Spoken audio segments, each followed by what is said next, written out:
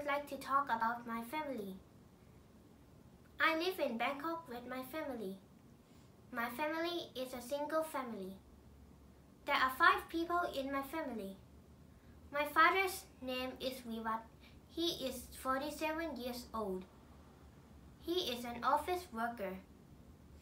He is tall, chubby, and handsome. My mother's name is Parishat. She is 47 years old too. She is a housewife. She is quite tall, chubby, and good looking.